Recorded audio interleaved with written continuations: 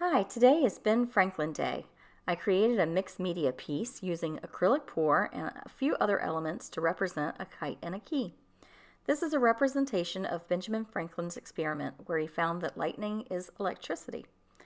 Did you also know that he came up with the term battery? Just a little trivia piece for you. Anyway, thanks for watching and enjoy your day.